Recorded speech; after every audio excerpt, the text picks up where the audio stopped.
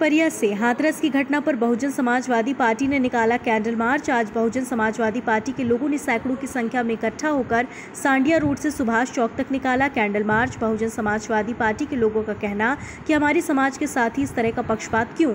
बहुजन Samajwadi party के लोगों की मांग कि अपराधियों को जल्द से जल्द फांसी हो और इस तरह की घटना किसी भी संप्रदाय, जाति, धर्म के साथ घटित न हो। इसके लिए सख्त से सख्त कानून बनाया जाए और जब तक हाथरस के अपराधियों को फांसी की सजा होगी होनी चाहिए। बहुजन समाज पार्टी जिला इकाई होशंगाबाद द्वारा एक कैंडल मार्च निकाला गया था, जो कि हमारी बहन मनीषा वाल्मीकि के साथ जो अन्याय हुआ है और देश में जो आए दिन अन्याय अत्याचार हो रहे हैं, बलात्कार हो रहे हैं, जैसे कि अभी एक तिचली में भी एक घटना घटी थी, जिसमें कि पुलिस वालों ने उनकी रिपोर्ट न लिख के उनके जेठ और पति को पुलिस ने बंद कर लिया था। इन सब बातों को लेकर इसको एक विरोध प्रदर्शन और एक श्रद्धांजलि एक कैंडल मार्च निकाला गया बहुजन समाज पार्टी के। अपराधियों के लिए आप किस तरह की मांग?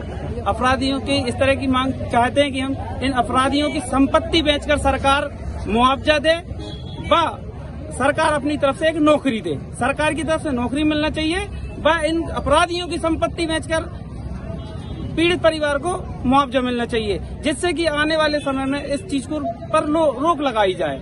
यही हमारी सबकी मांग है। और मैं बहुजन समाज पार्टी जिला अध्यक्ष होने के नाते भी यही मांग करता हूँ। खबर भारत वर्ष के लिए पिपरिया से नवनीत परसाई की रिपोर्ट। प्रदेश की ताज़ा खबरों के लिए लाइक करें शेयर करें सब्सक्राइब करें। और हाँ बेल आइकन दबाना ना भूलें क्योंकि खबर हमारी फैसला जनतंत्र का।